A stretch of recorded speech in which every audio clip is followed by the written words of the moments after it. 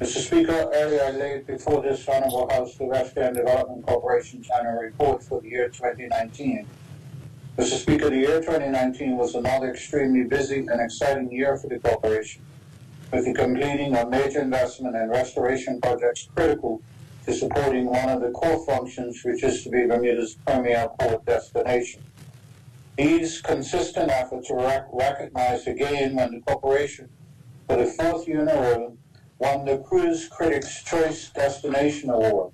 This award is awarded by consumer voting throughout the region, highlighting the best cruise port destination in the Eastern Caribbean, Bahamas, and Bermuda.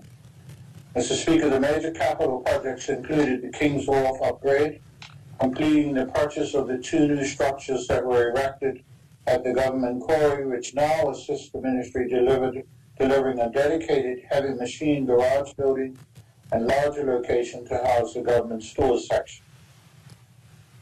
Phase one solar project was delivered and the corporation is now seeing significant energy savings of more than $30,000 per month.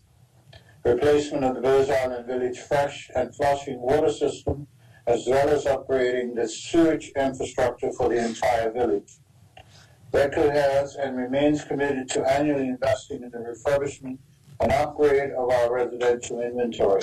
Mr. Speaker, highlighted performance accomplishments include included continued increase in revenue, continued retail growth, expansion of new retail and experience businesses, the launching to market of the new Prince Alfred Terrace short-term rental units, completion of all hurricane damage works, and focusing on working with small contractors so they are able to acquire contracts for many of the restoration and small to medium capital projects.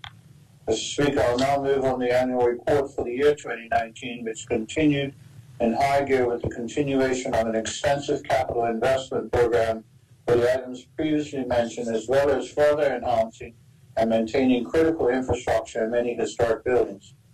Mr. Speaker, the financial report highlights for 2019 show WEDCO assets of $141,118,706 and liabilities of $72,425,925. Total revenues of $20,609,240 and expenses at $19,127,731. The result was an annual surplus of $1,481,509.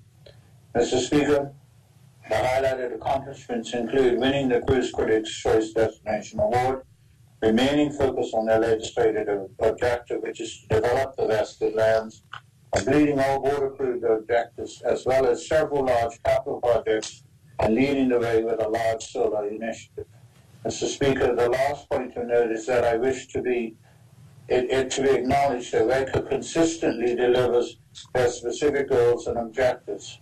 I'd like to thank the outgoing chairman, Mr. Charlton Deal, the new chairman, Mr. Neville Tyrrell, the WEDCO board of directors, general manager Andrew Dias, and, and his entire team for their outstanding effort. Thank you, Mr. Speaker.